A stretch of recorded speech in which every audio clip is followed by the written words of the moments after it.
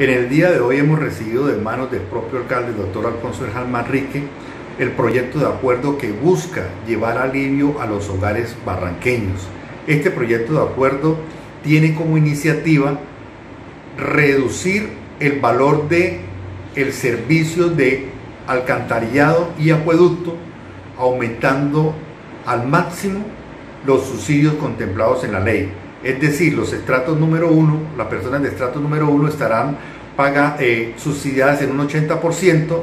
los amigos de los estratos número 2 estarán subsidiados en un 50% y el estrato 3 se subsidiará hasta el 40%.